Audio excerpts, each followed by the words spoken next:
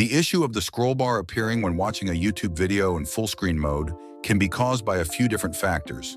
Here's a step-by-step -step guide to help you fix it. 1. Check for browser zoom level. Sometimes an incorrect zoom level on your browser might cause the scroll bar to appear.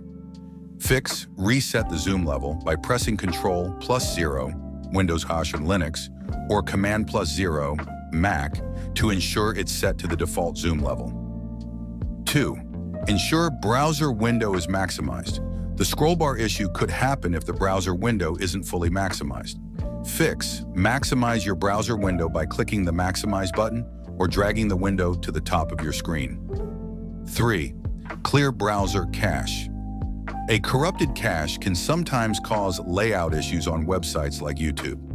Fix, clear your browser's cache and cookies. You can usually find this option under Settings greater than Privacy and Security, greater than Clear Browsing Data. 4.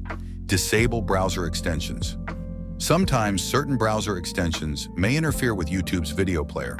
Fix, try disabling extensions one by one and see if the issue is resolved, especially extensions related to UI, video players, or ad blockers. You can do this from your browser's extension settings. Update your browser. Older versions of browsers may not fully support the latest web standards, which could cause display issues. Fix. Ensure your browser is up to date. You can check for updates in your browser's settings or help menu. Try a different browser. If none of the above work, try switching to a different browser, Chrome, Firefox, Edge, etc., to see if the issue persists. 6. Disable graphic acceleration. Sometimes graphic acceleration in your browser may cause visual glitches. Fix. Disable graphic acceleration in your browser settings. For Chrome, go to Settings or Advanced Your System and toggle off after trying these steps, the scroll bar issue should be resolved.